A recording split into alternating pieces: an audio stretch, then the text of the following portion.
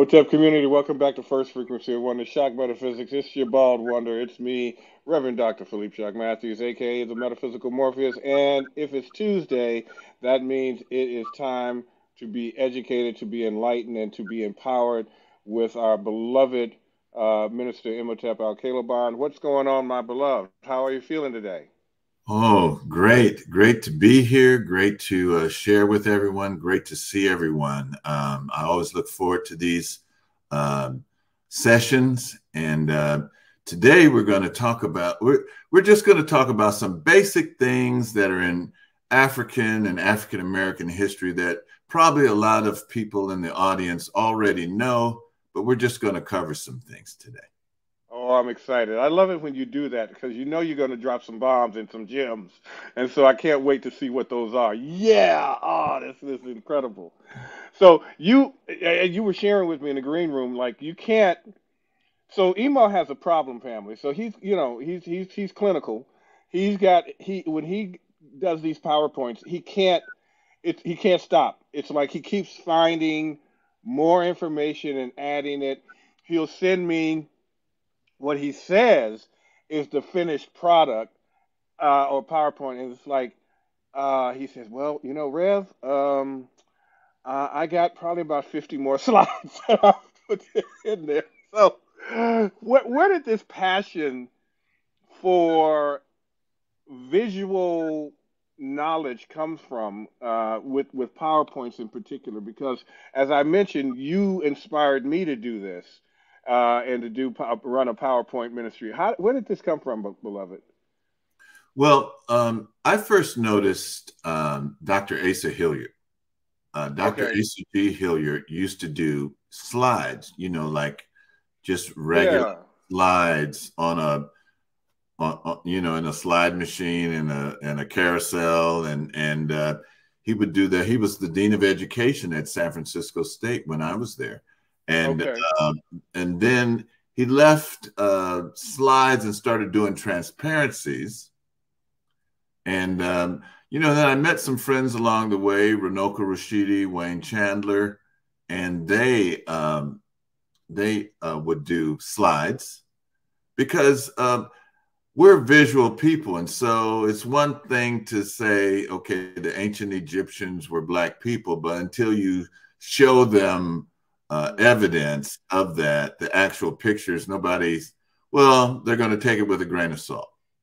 Uh, mm-hmm, they might mm-hmm. take it with a grain of salt anyway, even if you show them the actual pictures. But a picture, you know, what's that phrase? A picture is worth a thousand words.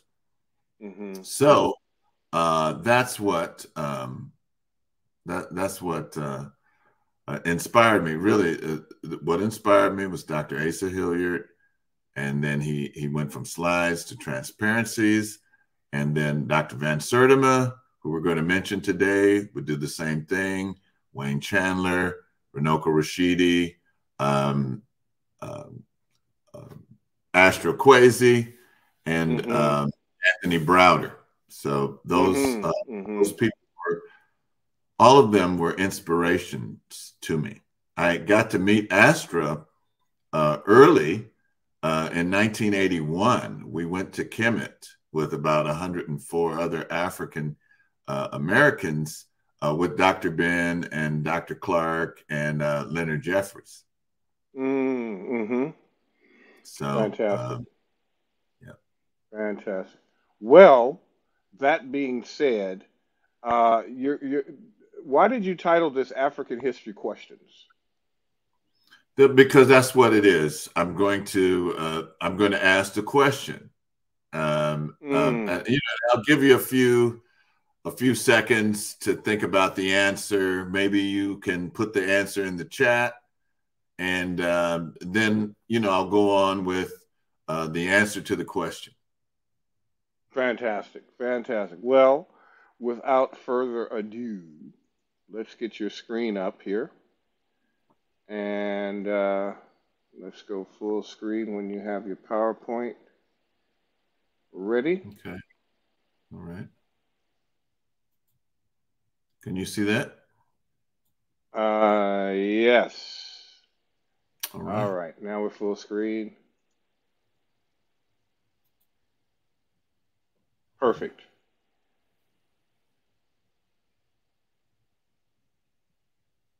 So, uh, should we start right now? Absolutely.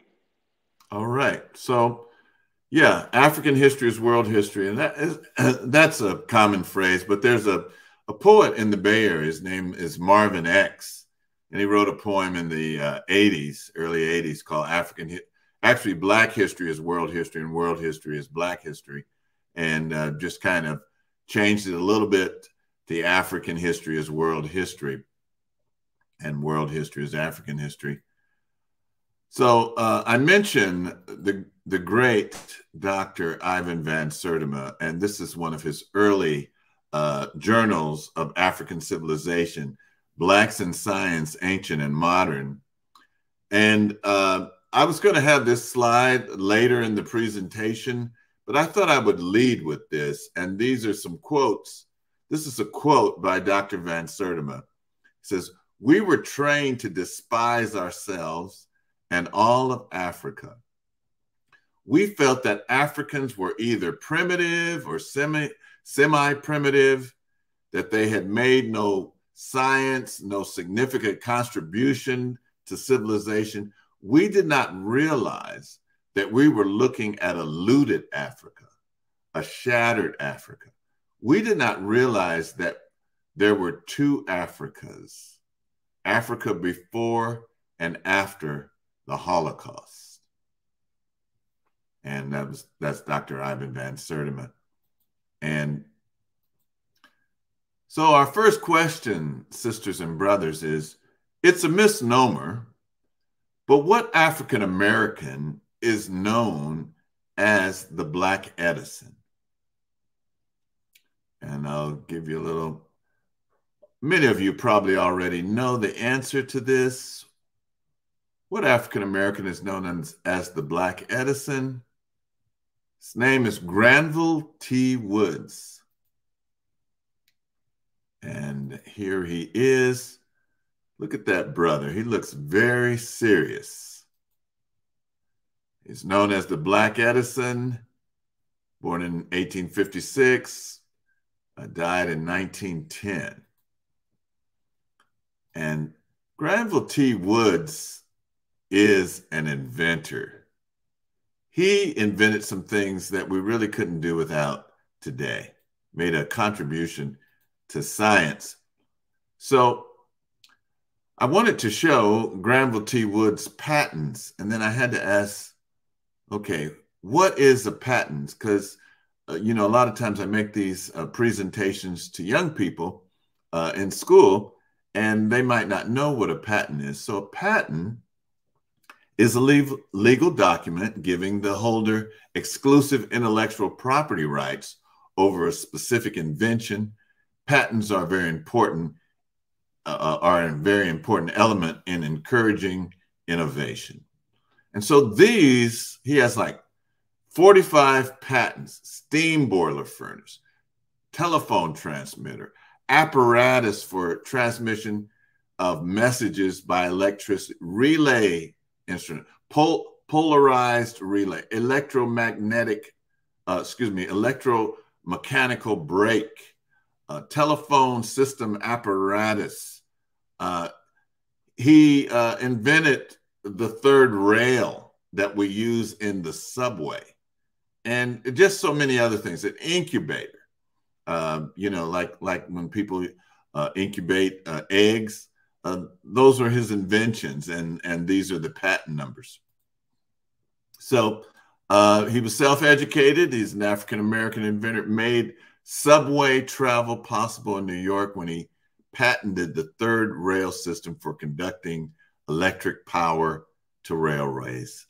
Um, you know, Thomas Edison attempted to take credit for his uh, synchronous multiplex railway uh, telegraph, and uh, but uh, Granville T. Woods was determined uh, to protect his invention, and though Edison took him to court twice, Granville T. Woods won his case in court. So that's very significant, particularly you know African Americans had a lot less rights than they do now. This is Granville T. Woods induction telegraph system. All right, next question. What African American inventor developed the first long lasting light bulb? Not the first light bulb, but the first long lasting light bulb. All right. And the answer is Lewis Latimer. And this is him as a young man. He looks just like any brother you may have gone to school with. Somebody in your family. These are progressions as he aged. And he patented uh, the a carbon filament for the incandescent light bulb. See, there was already a light bulb out there, but it would only stay on for like a few minutes. But he took a carbon filament and uh, made it last long, and so he he patented that. He also worked with uh, Alexander Graham Bell. Um, he he did the drafting so that Alexander Graham Bell's uh, telephone invention could come to the fore. So he did. He was born in uh, Chelsea, Massachusetts. His parents were slaves who had escaped from Virginia, and he taught himself mechanical drawing and drafting by observing the draftsman at the firm where he worked. Here he is again uh, as a young man and uh, as as it as an older person, uh, recognizing his talent when he was in the firm, they promoted him from uh, draftsman from um, office boy to draftsman. Uh, in addition to assisting others, he he designed a number of his own inventions, including a railroad car bath and an early air conditioning unit. So he he was very uh, instrumental in bringing things to the fore that we're using today. Lewis Latimer, uh, as I said before, uh, Thomas Edison is recognized as the inventor of the light bulb. Uh, African American inventor Lewis Latimer played an important an important role in that, and that that carbon and what is carbon? It's a black substance. He made that to make the light bulb last longer. All right. A, a special note now on Latimer Hall, Hall, because, and this is at UC Berkeley uh, campus. Uh, there's a there's a, a hall there called Latimer Hall, and many people think that it was named after Lewis Latimer, but I have to um, make sure that everybody knows that Lewis Latimer, L- Latimer Hall at UC Berkeley, Berkeley's campus is not named after Lewis Latimer, but it's named after Wendell Latimer, who was the dean of the College of Chemistry in the 1940s. So don't confuse those. Now, what African American woman is called the Moses of her people? That's an easy one. I know everybody's going to get that one. I know you already know that it is Harriet Tubman. She's the Moses of her people. She went across the Mason and Dixon line 19 times and she rescued over 300 enslaved people. She said, you know, as she was recounting her life later, she says, I could have re- rescued over a thousand, but, you know, a lot of them didn't want to leave they didn't know that they were slaves, or you know, just maybe too terrified to uh, to go to freedom. And here she is. That's a classic picture of her, and that's her as a young woman. And when you think about the Underground Railroad, look at the pathways. I mean, we don't want to walk um, two or three miles, but look at how far people would have to travel to get to free states. And she led that. She was she was a, a major conductor of the Underground Railroad. And in her obituary, which was uh, uh, printed in the Savannah, uh, Georgia uh, Tribune in 1913, it talks about her being not only a conductor of the Underground Railroad, but she was also a spy for the Un- Union Army. And she fought in battles. Uh, she was uh, a friend of Frederick Douglass. And she just was a very incredible woman.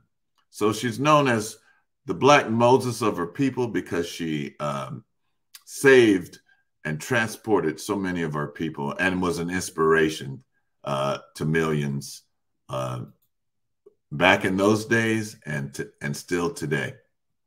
Now, what African general led an army of over 100,000 troops and 300 elephants across the Alps mountains to defeat the Romans?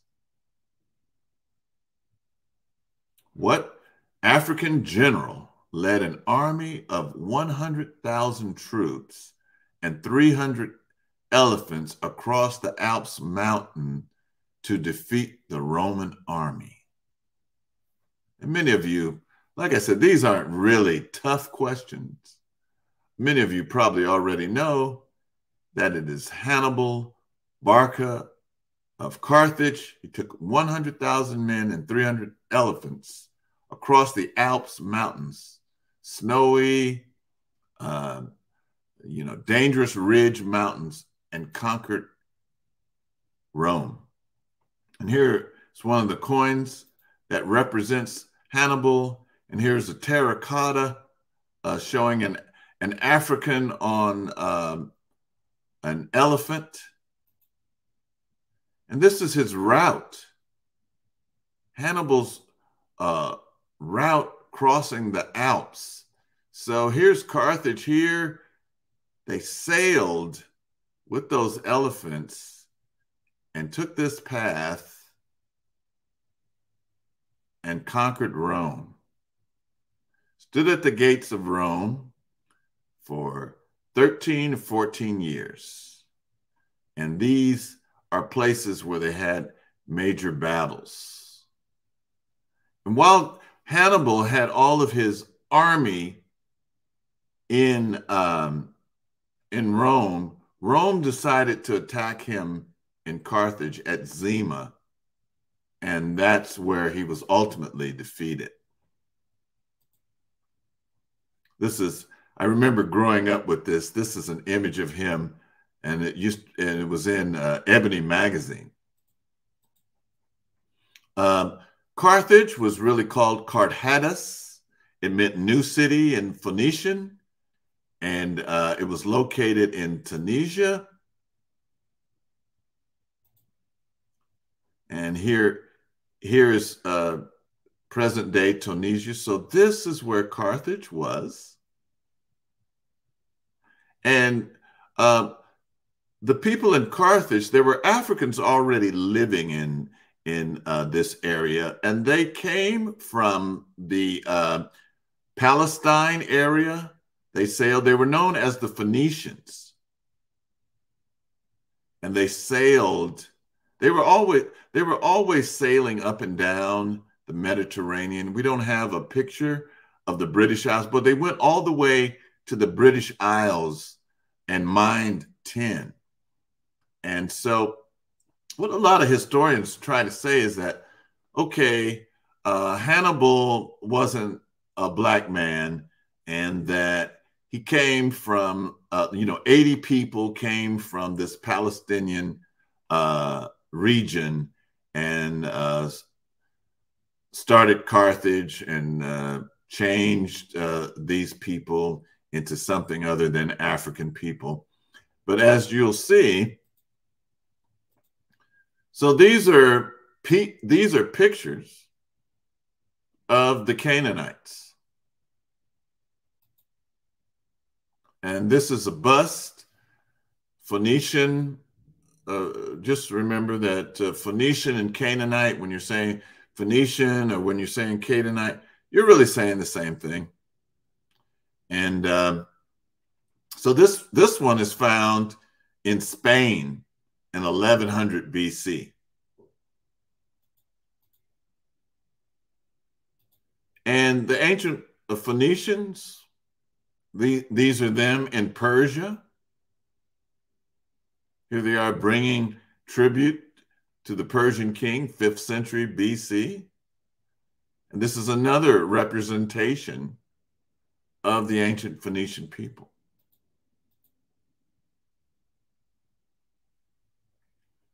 So now this is really unusual. This is a 1930 photograph of two Canaanites in Palestine before, you know, the genocide that took place in that area. And these are two descendants of the Canaanites or Philistines that's mentioned in the Bible. So here's a representation of modern Canaanites and ancient ones. And uh, a lot of this information came from an article that was written by uh, Brother Wayne Chandler, and he was writing in Great Black Leaders, Ancient and Modern, part of the Journal of African Civilization uh, by Dr. Ivan Van Sertima. And all these people are, are, are covered in that book. Malcolm X, Queen Tiye, Kwame Nkrumah, Frederick Douglass, Imhotep, Nelson Mandela, Queen Anne Nzinga, Martin Luther King Jr., Toussaint Louverture, Shaka Zulu, uh, Queen Hatshepsut, and uh, Ramses II, Marcus Garvey, and Hannibal. This this uh, coin uh, of Hannibal is found in two, 217 BC. It's it's found at Lake uh, Trans Ta, Tasmarine um, in, in Italy, and it's it's made in the image of Apollo, and so this is not just some um, African uh, that that that happened to be there. Uh, many uh, archaeologists and anthropologists believe this is actual representation of Hannibal. And one of the, now this is very interesting too, because one of the elephants that he rode was an Indian elephant. So this is a coin. On one side of the coin is his representation. On the other side is, is an Indian elephant. And the way you can tell an Indian elephant from an African elephant, an Indian elephant has the smaller ear, an African elephant has the larger ear. Okay. Now, what Caribbean African general defeated Napoleon and the French army in the Western Hemisphere? I know everybody knows this. I'll give you a few seconds to write it in. What Caribbean African general defeated Napoleon and the French army in the Western Hemisphere? And of course, it is Toussaint Louverture, who defeated Napoleon and liberated the island of Haiti. And here he is. Here's a representation of him. Here's another representation of Toussaint Louverture. But you cannot talk about Toussaint Louverture without also mentioning others that were involved in the liberation struggle. Jean Jacques Dessalines, first emperor of Haiti, and Henri Christophe, former president of Haiti. All right, moving on. What African American educator created Negro History Week? What African American educator created Negro History Week.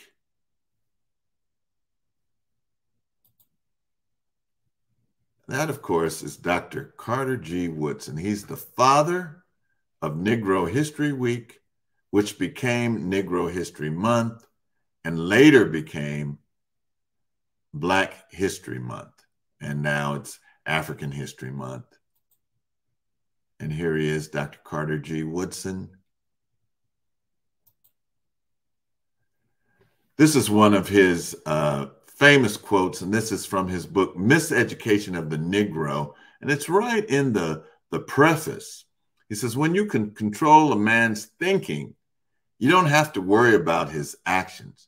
You don't have to tell him to stand here or go yonder. He will find his proper place and will stay in it. You don't have to send him to the back door. He will go without being told. In fact, if there is no back door, he will cut one for his special benefit. His education makes it necessary. And that's Dr. Carter G. Woodson.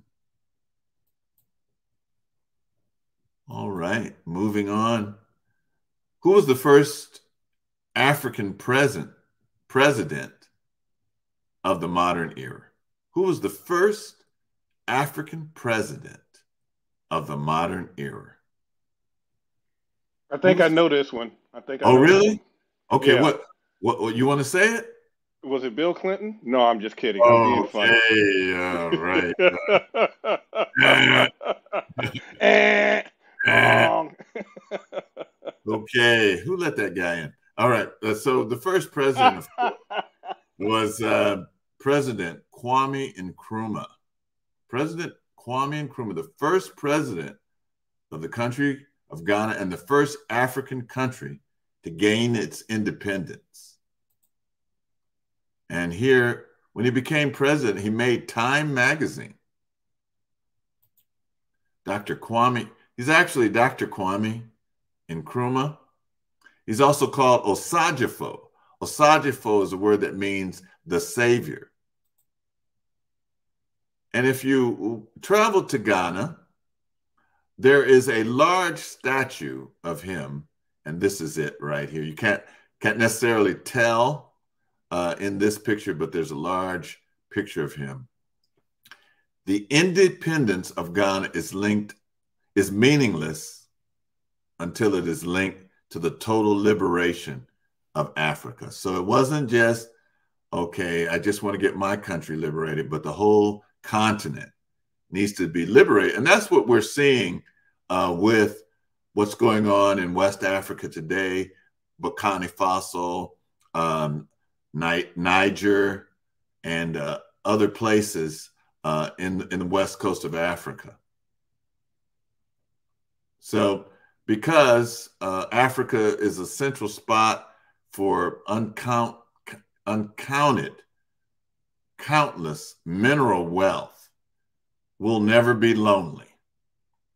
There will always be other people, invaders, sometimes pretending to be friends, coming to the continent to, to, to see what they could get.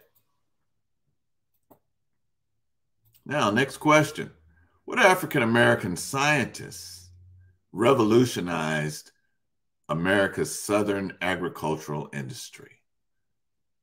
What African American scientists revolutionized America's southern agricultural industry. Any any any guesses? What African American scientists? I know people are are are shouting it out right to me right now as I'm talking. What African American scientists revolutionized America's southern agricultural industry? And of course, it is Dr. Carter G. Woodson, excuse me, Dr. George Washington Carver. Dr. George Washington Carver. And here he is. And there he is in his laboratory. His lab again. He revolutionized the agricultural industry in the South. How did he do it?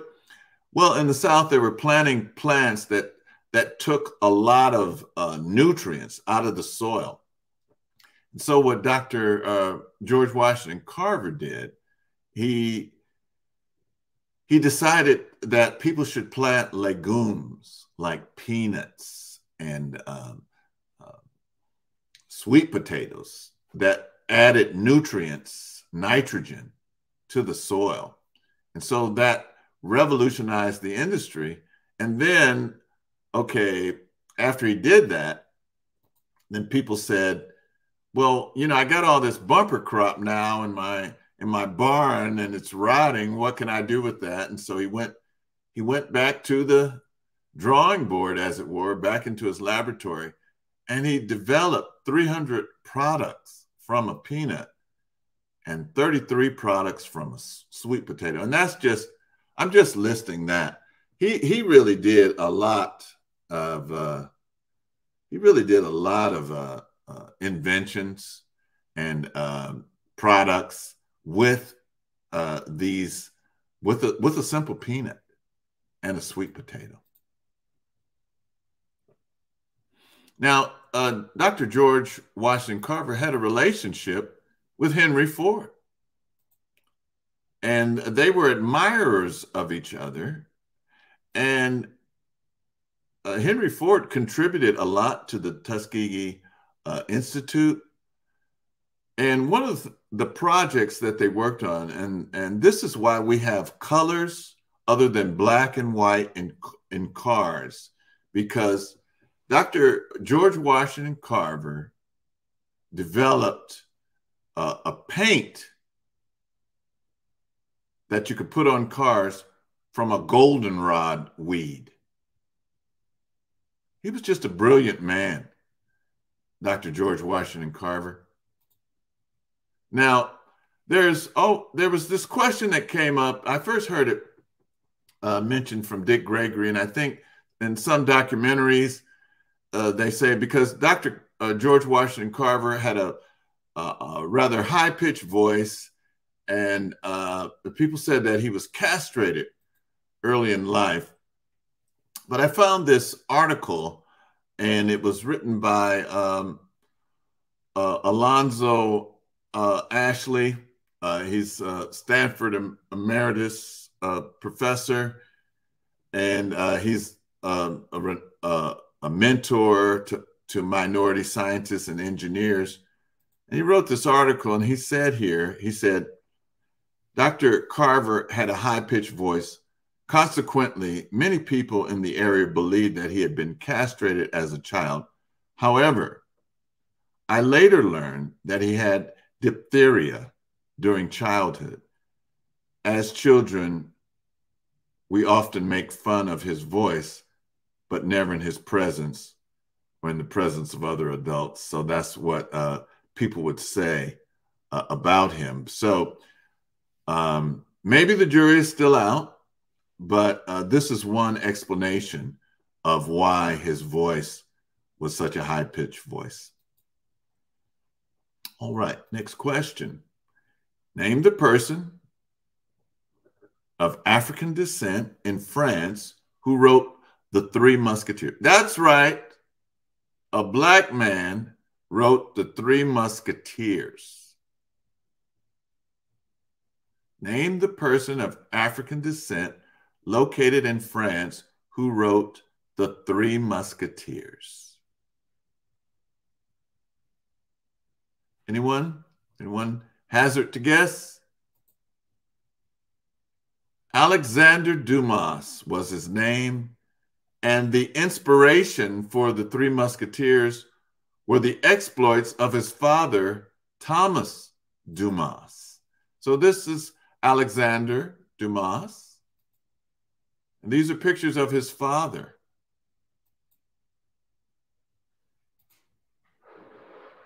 And these aren't the Three Musketeers necessarily, uh, but these brothers sure are fly. Look at these guys back in the day. And I think they were really part of uh, St. Maurice the Moors um, group. And this is actually a picture in Germany. All right. Moving on. Name the African queen who defeated the Dutch and fought the Portuguese to a standstill for over 40 years. Name the African queen who defeated the Dutch and fought the Portuguese to a standstill for 40 years. Was it Nzinga? Wow, you are correct. Ding, ding, ding, ding, ding, ding. Give that man a prize.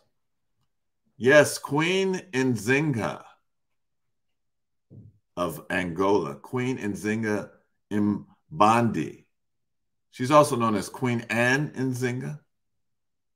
Queen Nzinga Mbandi of Angola.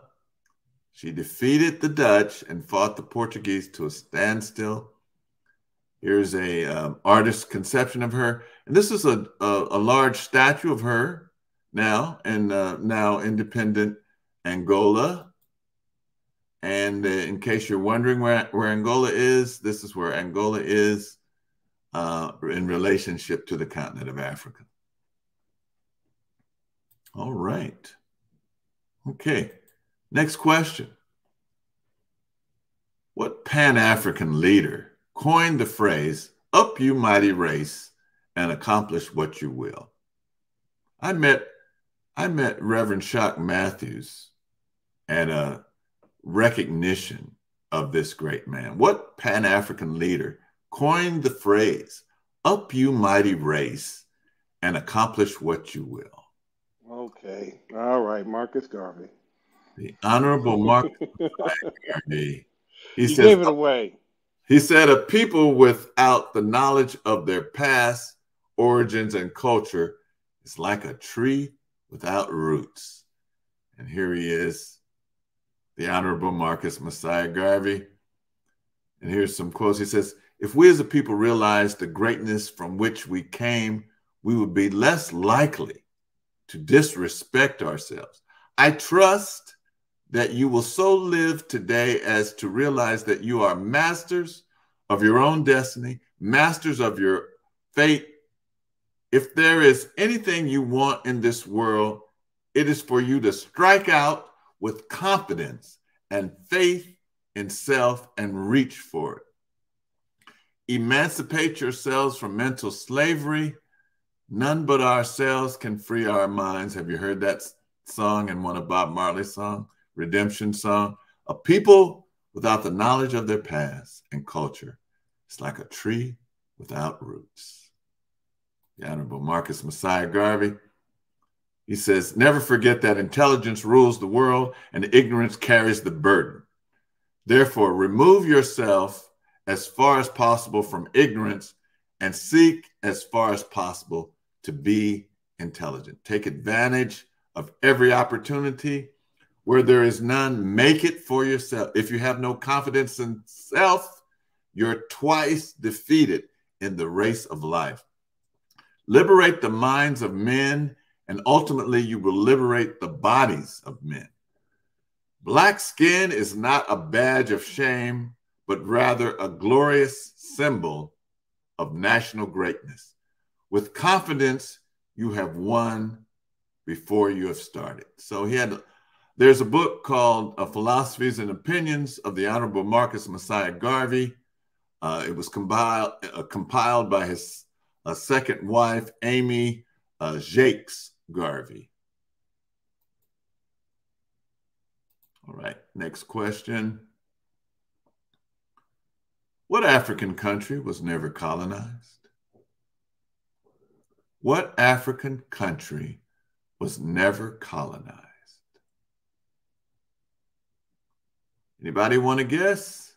What African what African country was never colonized?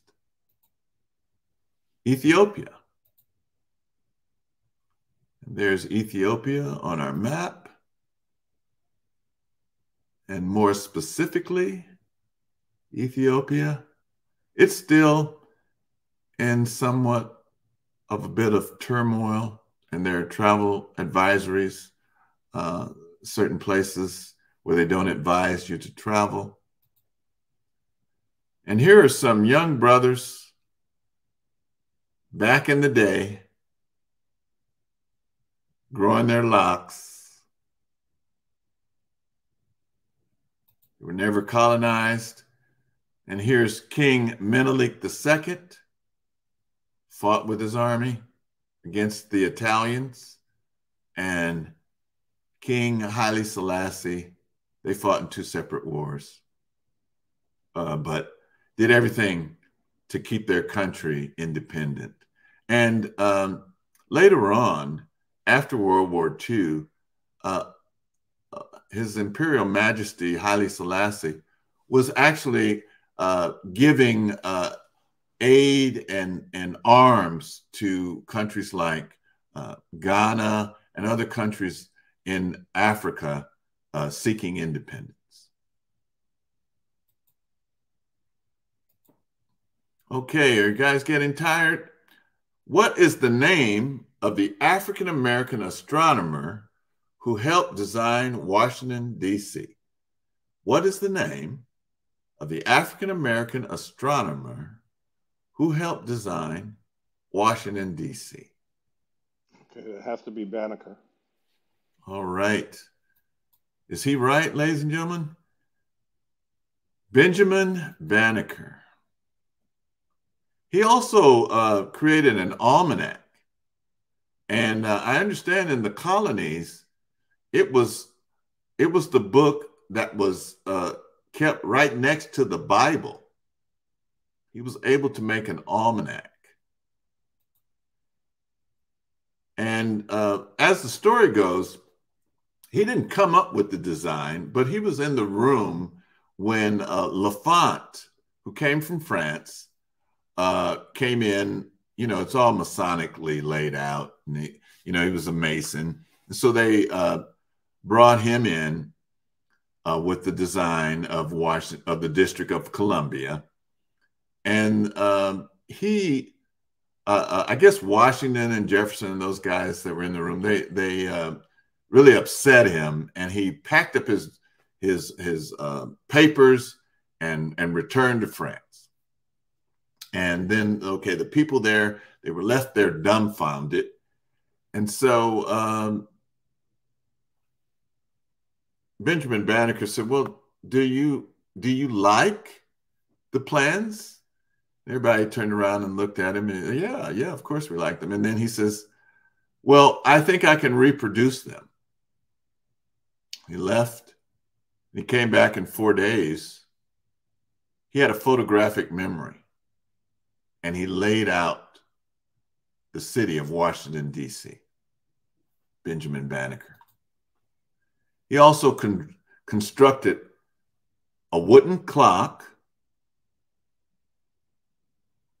that kept time for 40 years. Benjamin Banneker. All right, next question. Name the African American brotherly duo who wrote the Negro National Anthem.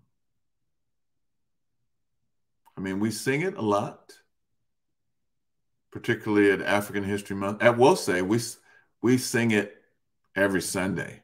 So if we're live, like we were this past Sunday, or uh, if we're on Zoom, we'll we'll conclude our services with this with the uh, African national anthem, African American national anthem. Anybody know? James Weldon Johnson and his brother Rosamond Johnson. So uh, James Weldon Johnson uh, wrote the words, and Rosamond wrote the the music to it. And here they are here. Well, people sure were sharp back in the day. Here they are. Lyrics by James Weldon Johnson, music by J. Rosamond Johnson. All right.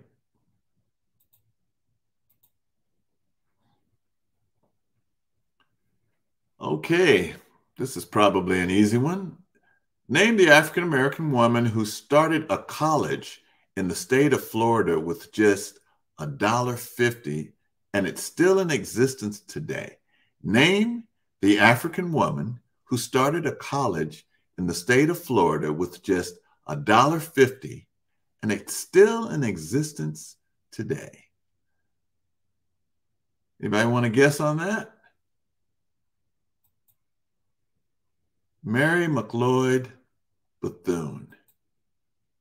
And here she is as a young woman. She says, invest in the human soul.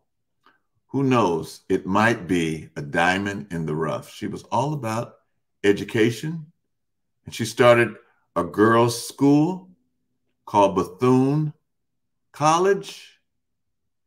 And then later on, it joined with another African American uh, university or college, Cookman, and it became Bethune Cookman College. It was founded in 1904. And she says, believe in yourself, learn, and never stop wanting to build a better world. Great, great sage in education, Mary McLeod. McLeod, I always want to say McLeod, McLeod Bethune.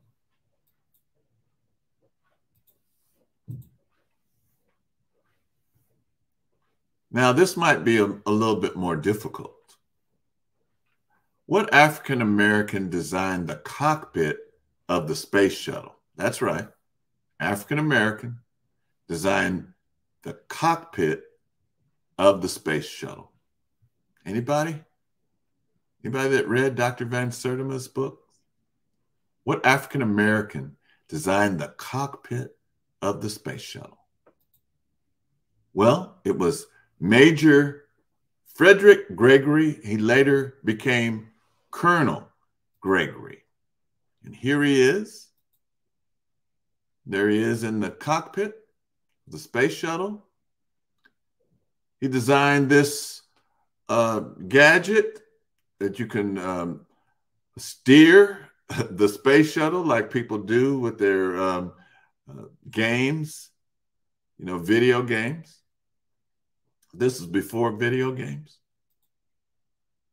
And here are three African American uh, astronauts. I believe these two were killed in 1984 in that tragic accident with the space shuttle Columbia. And this is right out of Blacks in Science. Uh, and here's Dr. Van Sertima with Colonel Gregory. He says, Gregory has a major responsibility for cockpit redesign aboard the space shuttle. He is the technical monitor for the astronauts, and he is redesigning the cockpit on the new shuttles that will be flown in the 80s. The first shuttle cockpit is already in place, but they have found problems with it already. It's Gregory's responsibility to redo the cockpit and come up with a new design that will give the pilot more information and make the aircraft more flyable when it's operational. So, um, again, for those of you that didn't know, it was Major Fred Gregory, and um, he um, became a colonel, and I think eventually he flew. All right. Name the African king who is the richest man in the world. It's known as the richest man in the world. I, I think even by today's standards, he's considered the richest man in the world. Anybody want to guess on that? Name the African king who was known as the richest man in the world. King Mansa Musa. And here he is. He was drawn on on maps. And here he is holding a gold sphere as he's sitting on his throne as Arabs come to visit his land.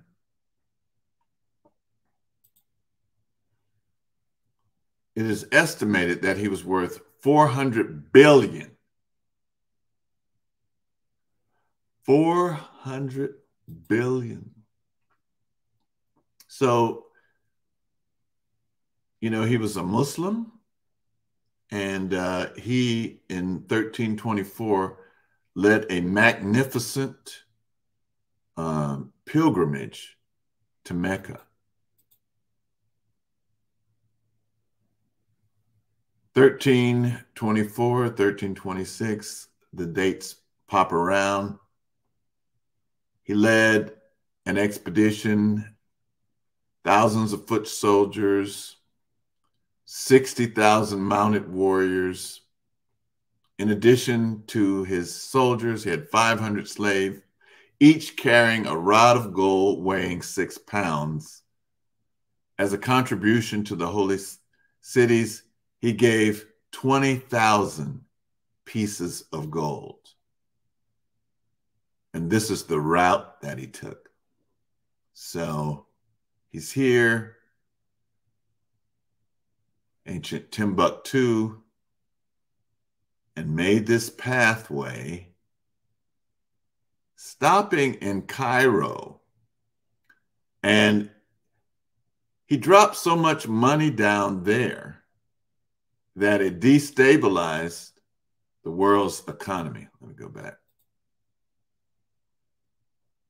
And then made his pilgrimage to Mecca.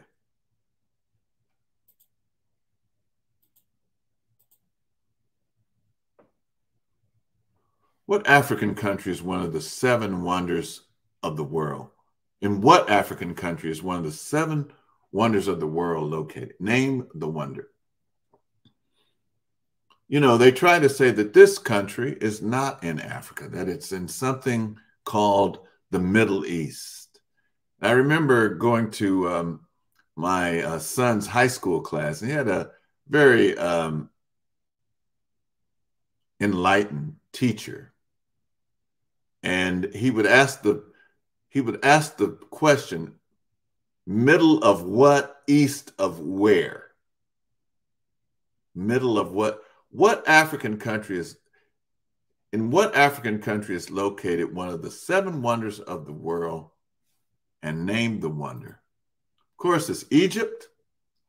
In ancient times, it was known as Kemet. Here's Egypt here. And uh, the wonder It's called the pyramids. Also, it's called Mer in Medu Neter, but even more ancient, it's called Per Neter, House of the netters. It was not a tomb. It was actually an energy source. Uh, there's a book, um, it's called The Giza Power Plant by Christopher Dunn. And he says, Did a highly advanced civilization exist in prehistory? Is the Giza pyramid a remnant of that technology?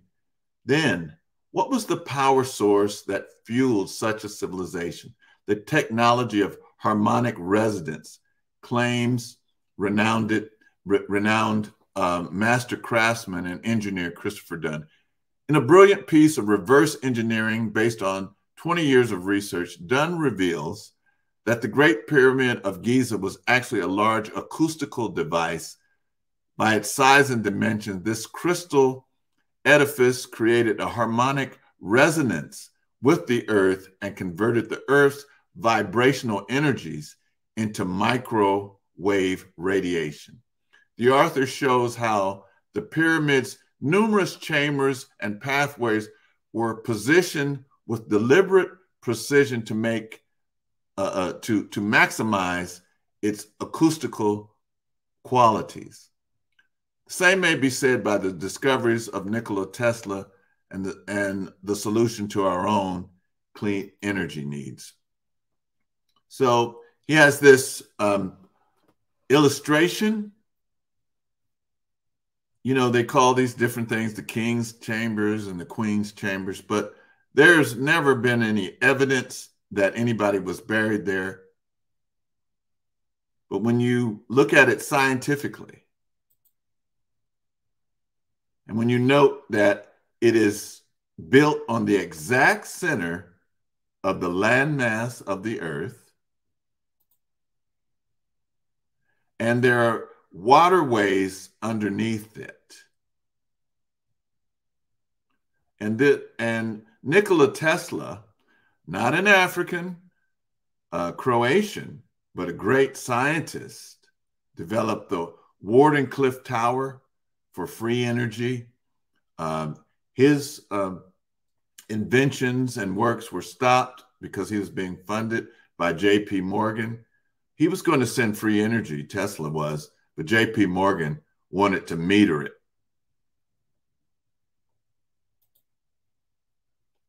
All right. What African River is 4,000 miles long and flows from south to north.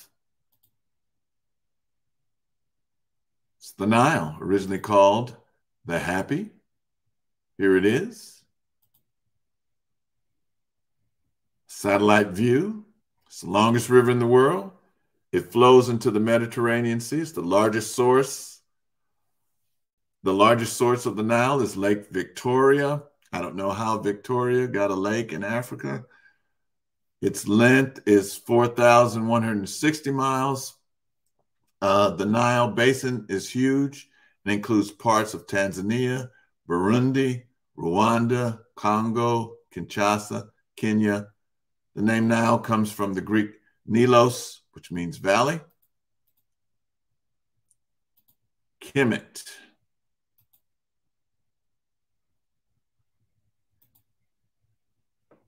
I have these uh, slides out of order.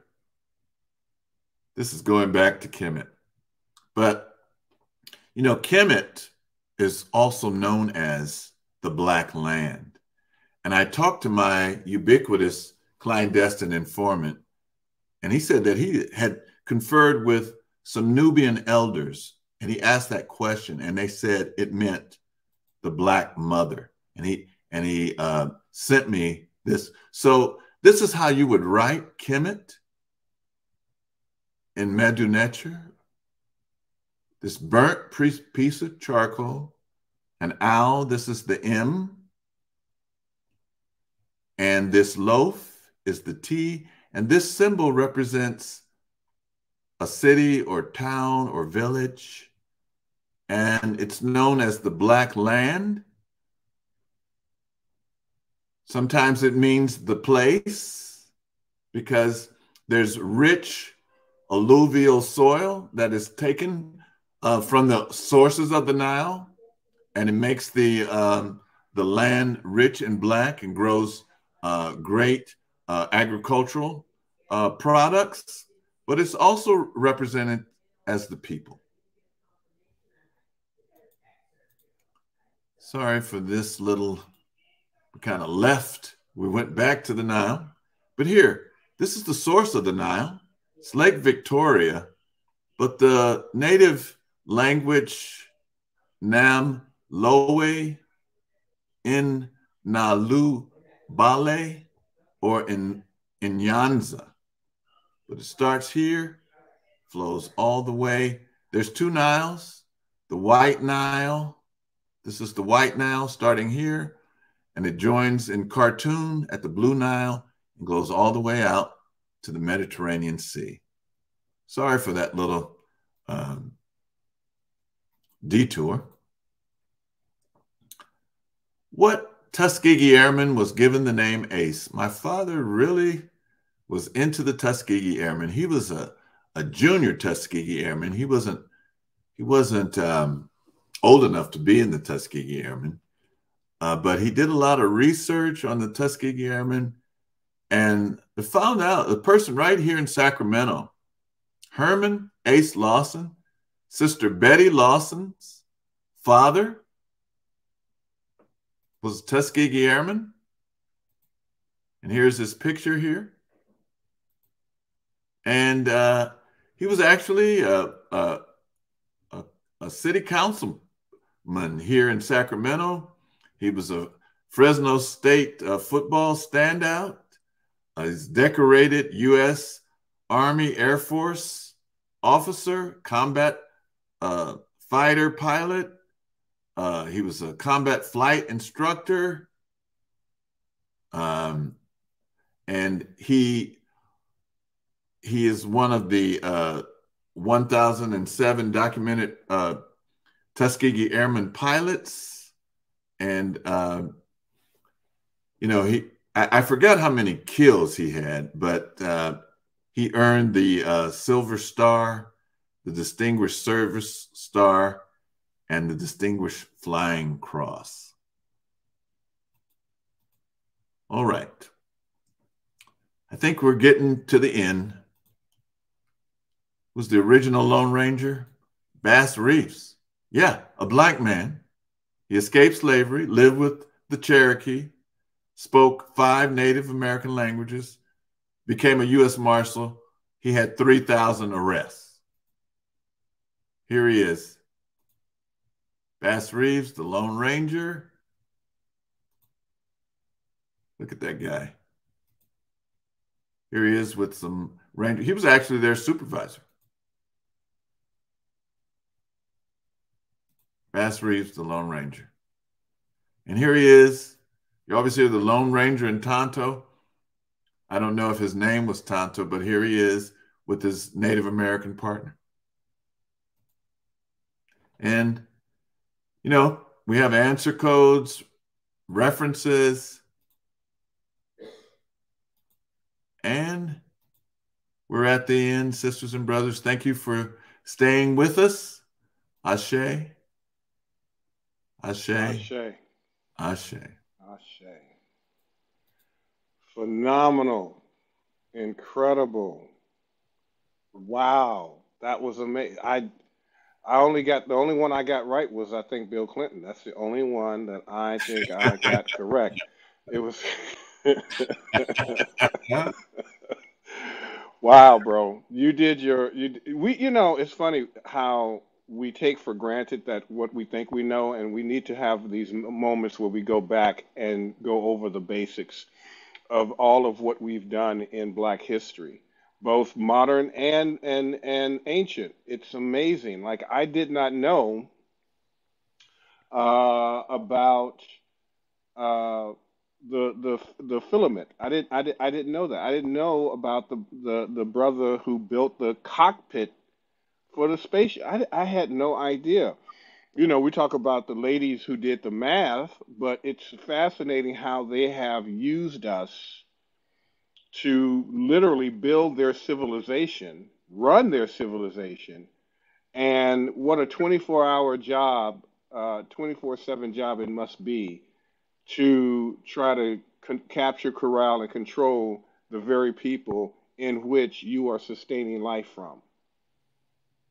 Well, um, you know, Dr. Welsing and Neely Fuller Jr. and those that wrote the Osiris papers explain the psychology of that. And um, those are good books to try to understand why uh, people act that way towards us. Mm-hmm. Mm-hmm. That's all I'm going to say on that. But uh, well, yeah. It's hard being first. It's hard being first. It's hard being the only and and having to bow down and cow down, cow kowtow to the people who are responsible for your life uh, because you didn't invent anything. You weren't original. You're not the original people. You know, um, absolutely amazing work. Well, this is why we do what we do, and this is why you're here uh, with us, and what a blessing that is. And so let's do our affirmation of power, shall we, family? As we sign off, we want to say, I am one with first frequency. I am one with first frequency. I am one with the first thought idea. I am one with the first thought idea. I am one with the firstborn people. I am one with the firstborn people. I am one with the only one. I am one with the only one. Ashe. Ashe. And so it is. All right, my community. Love you so much. We'll see you next time on First Frequency of Oneness.